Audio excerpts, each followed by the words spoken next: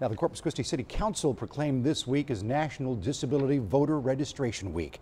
This yearly campaign that started yesterday is to remember those with disabilities should be able to vote as easily as those without. Yeah. Yes, and the campaign highlights the importance of voting while also educating, registering, and encouraging those with disabilities to go out and vote. The proclaimed week shall now always be from July 16th to July 20th. Now, aside